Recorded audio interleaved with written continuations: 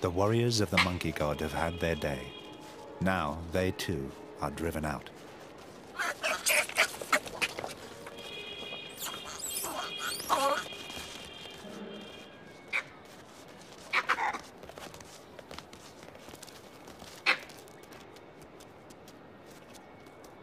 Walking wounded bear the marks of the big male's teeth.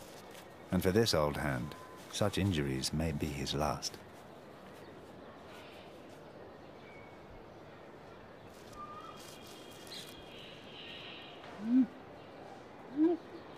In town, the dictator's reign of terror has just begun. He knows he still has problems within the city troop, the children of the old regime.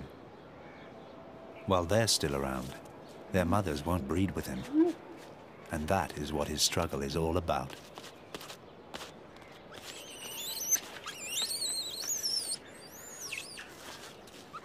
Becoming a father is his destiny, but who knows how long he's got.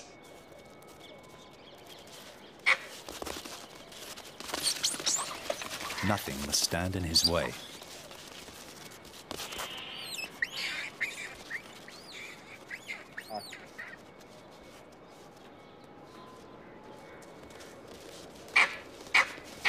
Pumped up with aggression, the big male tackles any female he can lay his paws on. But now he's after the babies too, and the females are even more desperate to stop him.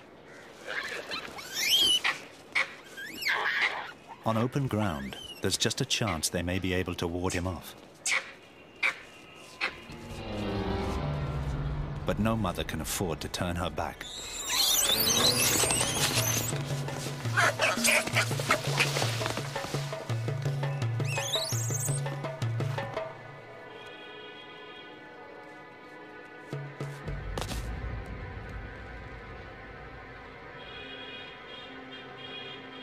Another casualty, another problem dealt with.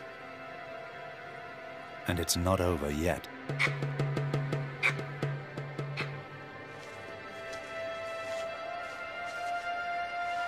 The tyrant's bloodlust is far from satisfied. Any sons old enough to leave their mothers now run for their lives.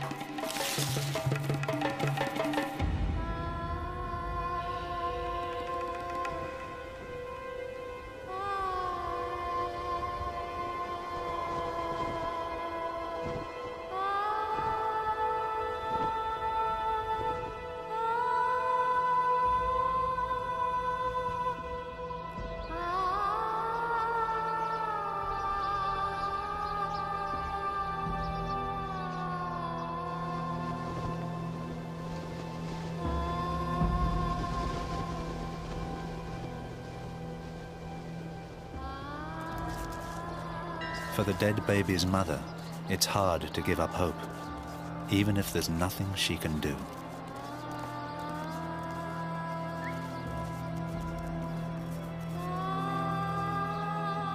She's not alone. Many of the sisterhood have lost their babies too. But that doesn't make it easier for her to bear.